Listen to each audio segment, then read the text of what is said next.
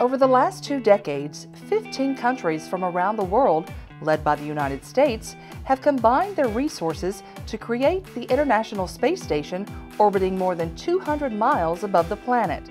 Since the completion of the station's assembly in 2011, it has become an operational research laboratory. As astronauts conduct experiments called payloads for researchers around the globe, they're assisted by the folks here in the Payload Operations Integration Center at NASA's Marshall Space Flight Center in Huntsville, Alabama. Teams in this science command post work around the clock, 365 days a year, and can even perform some research remotely while the crew sleeps. Space station operations are managed in six month periods called expeditions. The arrival of each new space station crew signifies the start of a new expedition. Each expedition has more than 200 experiments, and the team here in the Payload Operations Integration Center is the focal point for U.S. science activities.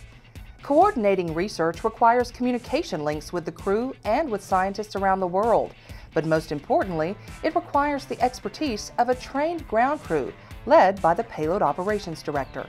I'm kind of like conductor of an orchestra. I make sure all the individual musicians are playing their parts and that we're all playing the same song. As leader of the team, I guide payload activities aboard the space station.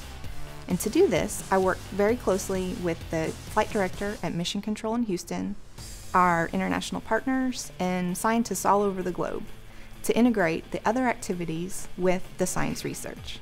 While the pod is working on the big picture, the operations controller makes sure the day-to-day activities needed for space station research are unfolding as planned. If you've ever been on a trip with a tight schedule, you probably understand how difficult it is to stick to that schedule. Almost every day is a tight schedule for the crew members on board the space station. We as operations controllers are responsible for ensuring that the crew safely perform those activities that they are scheduled. As with any complicated operations, you probably know issues can come up. We also help the crew work through those issues safely and to get back to the scheduled activities. Those issues can range from the hardware that they're using, software that may be running, or even the procedures they're using. Um, we even have a mock-up nearby of the Destiny laboratory that allows us to run through those fix actions to make sure they're good, or even run through normal procedures to make sure they're more efficient. The voice of the Operations Center is the Payload Communications Manager, also known as the PAYCOM.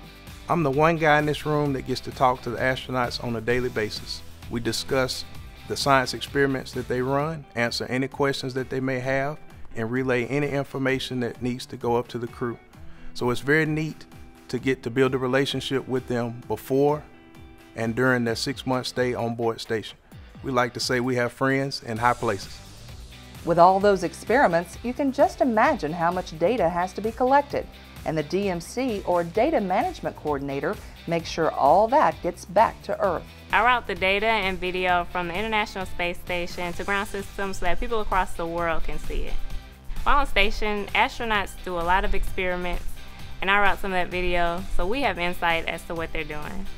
Uh, they also do a lot of television interviews, and I route that video so that you may see it in your home. Most experiments on the space station are installed in different sections called racks. The Payload Rack Officer, or PRO, helps with operations in those rack facilities. Many of the racks and experiments, including the Destiny Laboratory, were built and tested here at Marshall. We can do certain command functions from the ground to assist the crew, and we also have hardware on the ground that we can use to mirror crew functions so that we can help them if they have any questions or issues during experiment operations. We monitor commands as they go up to station, and we view rack data as it comes down from station so that we can make sure all experiments remain safe and operational. The lead increment scientist representative liaisons between the ISS lead scientist for the expedition, the Payload Operations Center, and the scientists with experiments in space. I live in Houston and work in Huntsville for tree rotations. Whenever issues arise, we have to make a decision quickly, so we have to be very familiar with space station research priorities. The goal of our team is to maximize a science return on space station and to verify that scientists from all over the world are satisfied with their results. The real-time planning function is carried out by the Timeline Change Officer. As you know, even the best plans sometimes change. When this happens on the space station, I am the one who has to come up with a new plan, but I don't do this alone. I work with my team here to review plans before they are performed on board. When changes have to be made, I coordinate with NASA control centers and scientists across the globe to devise the best plan for all the experiments. And of course, since the space station is the size of a five bedroom house, someone has to keep track of everything needed for experiments. For U.S. payloads, that's a job for the stowage engineer. Have you ever lost anything inside your house? Come on, we all have. Now imagine trying to keep up with all of your household items from over 200 miles away. As a stowage engineer, that's what we do every day. We provide the crew with locations for all their tools, parts, and materials required to do their job. Now, what happens when something gets lost, you say? That's when we have to go back through our database to try to find the last time and location that the tool was used, so hopefully we can track it down. Each year, hundreds of science experiments are conducted on the International Space Station, which already has broken records for the hours of science conducted by humans in a space laboratory. The people working in the Payload Operations Integration Center help make space station science happen.